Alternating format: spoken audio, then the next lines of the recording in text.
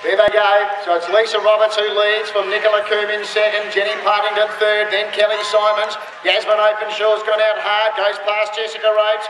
Next was Ali Trawartha, then Natasia Messett, and then Xenia Kavuras. They come off the back. Nicola Coombe's in front here.